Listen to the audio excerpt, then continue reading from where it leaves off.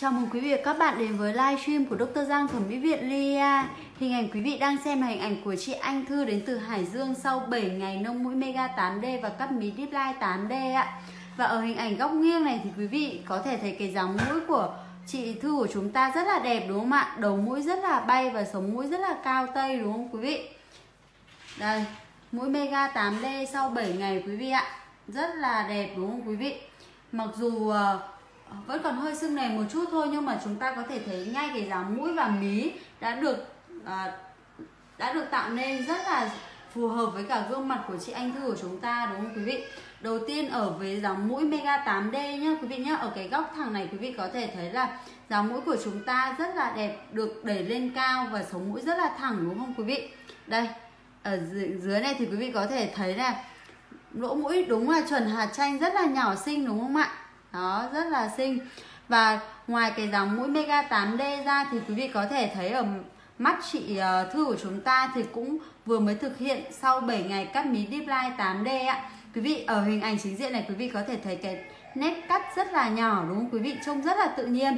Chơi chị chị nhắm mắt vào giúp em một chút. Đây, quý vị có thể thấy là cái nét cắt mí rất là nhỏ, đúng không quý vị? Đây cắt mí vi điểm Deep Line 8D Mặc dù vẫn hơi sưng một chút thôi Nhưng mà sau khoảng 10 10 đến 15 ngày thì sẽ vào form rất là ổn định và rất là đẹp nhé quý vị nhé Vâng ạ và để quý vị có thể hiểu rõ hơn uh, tình trạng mũi và mí của chị Anh Thư trước khi nông mũi và cắt mí thì ngay sau đây. Tôi có thể cho quý vị theo dõi hình ảnh ngay sau đây đấy ạ.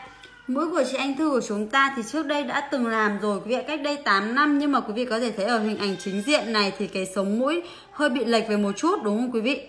Gốc mũi khá là thấp này quý vị này. Đây. Gốc mũi thì khá là thấp nha quý vị nhé, làm được 8 năm rồi ạ. Đây ạ.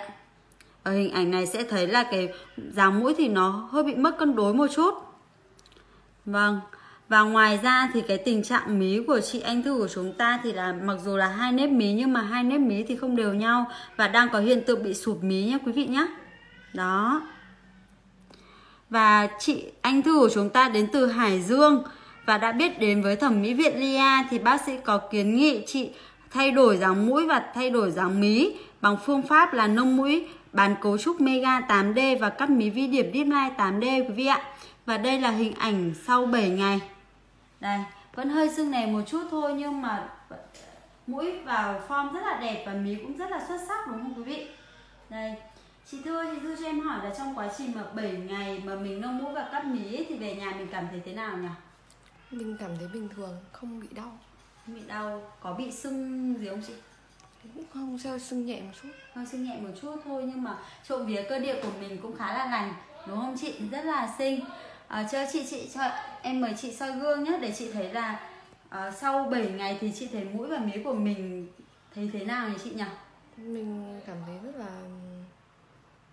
phù hợp với cả gương mặt của mình Vâng, thay đổi. Vâng, thay đổi khá là nhiều. Sau 7 ngày quý vị ạ, nhìn quý vị có thể thấy dáng mũi của chúng ta rất là tự nhiên này quý vị này. Có thể sờ nắn thoải mái nhé quý vị nhé. Và nếp mí cũng rất là nhỏ xinh này quý vị này. Đây, đây là cắt mí vi điểm nên mí rất nhỏ xinh và dáng mũi rất là đẹp. À, sau khoảng một tháng thì mũi và mí sẽ vào form sẽ rất là xuất sắc quý vị ạ. Vâng em cảm ơn chị nhé. Cảm ơn quý vị và các bạn đã theo dõi livestream của Dr. Giang thẩm mỹ viện Lia. Hẹn gặp lại quý vị trong những livestream tiếp theo ạ.